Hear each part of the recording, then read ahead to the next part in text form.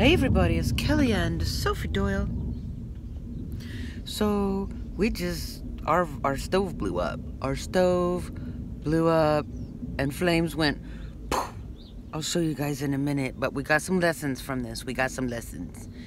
Uh, so it's this stove. I was cooking my eggs and all of a sudden I heard a poof, uh, you know, like a flame bursting and it was coming out of here and it was coming out of here and I said, oh.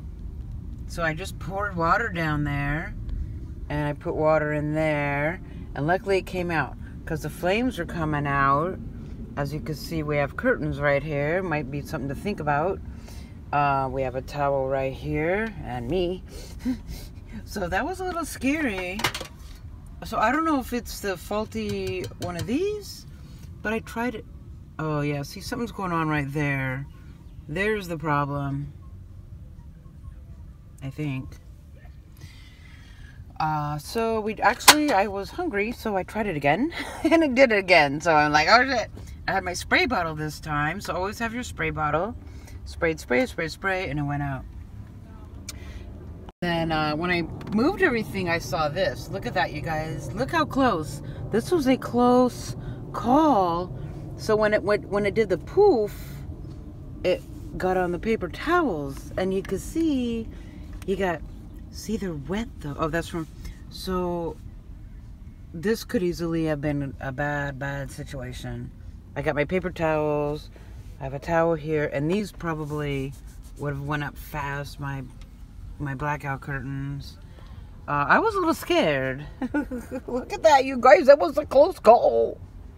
I was a little scared because, like, I was pouring water and the flame kept coming out. And I'm thinking, but really? Like, my car's gonna burn? I'm gonna have to leave my van and I'm hungry. I just want my eggs. I just want my eggs. I said, no, this is not gonna happen because I want my eggs. Uh, so, and I'll show you though, I still got to eat my eggs. And my backup stove came to the rescue. This is a backpacking stove. So this is a Snow Peak Gigapower uh, compact stove. I'm gonna show you what how big it is in my hand. I've had this stove for about 10 years and it's still going strong. It has the automatic lighter. So you just turn this and you push that and it flames it. I actually have cooked a lot of things. I've cooked omelets and things like that and beef and all kinds of things um, on a small cast iron. It's, to me, I did a lot of research before I got decided which one I wanted. To me, this one was the one that um, combined the most compact with the most stability because uh, the other ones that were this size only had three prongs and they weren't as stable. Um, these are very stable and I'm going to show you uh, what it looks like when we fold it up. It's going to fold up like this and like that's how big. So I always kept that in my, it fits. So it's so small and compact, it fit in this tiny little drawer this tiny little drawer right in the back, uh, always for backup. And I'm glad I had it because I was very hungry. And now these, you can get these larger. You can get these even smaller. So for an emergency, you can use a small one. You're going to take up any space at all. So here it is off and uh, you fold them all up. Look how small that is. Look how small that is. And then you pull this up. I usually put a little rubber band around it. And look how big, that's your stove. And for one person, I've cooked everything I've ever needed. There's nothing I couldn't cook. I mean, I can't do a big batch of pot, a pot, but I can do uh, my cast iron. Look at that, you guys. I love this. Like, this is one of my favorite. Look, it's so tiny. And it does what this other one is does. You know, look at that. Look at the difference. Light change, that's crazy. So the pot I use right now, I couldn't find the size I wanted, but it's a copper bottom. Um, and really this heats up any kind of canned foods. It's the perfect size, and this definitely fits on top of that stove. So there's my pan, and this is just, it's completely, like I said, this, I did a lot of research, and this stove, for its size and weight, is the most stable stove in its, in its class. The others are three prongs. There you go.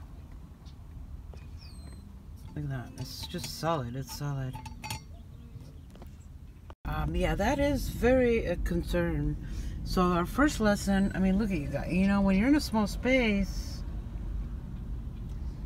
that could have been the end of my, the inside of my van. Fact, I feel like the gods saved me. There's no way, why didn't that just continue? That is cray cray. So that's the end of our video, but the lessons here are always have a fire extinguisher. Um, I mean, I don't know, my water bottle might have worked. At least have a water bottle, but it doesn't always work.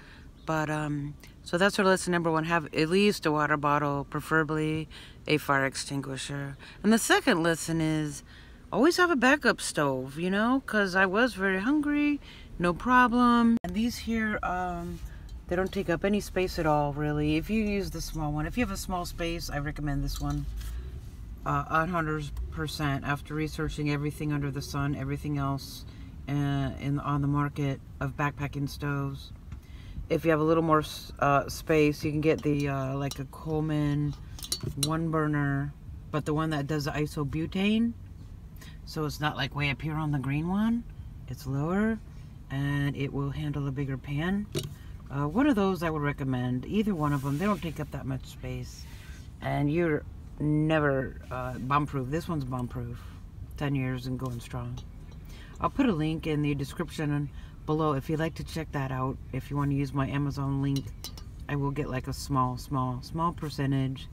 Um, and you can check out other things in my store that I recommend. I do a lot of research on this stuff. But we still were able to make our eggs. All's well. That ends well especially when you have a few lessons.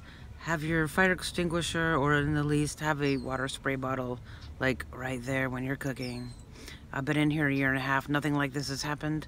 I've never heard of these stoves doing that but now we know it can happen. It can happen to you. So be prepared and have a backup stove so you still can eat thank you very much for watching I'm Kelly Doyle that's Sophie Doyle Thank you for watching. Have a beautiful day and follow your bliss.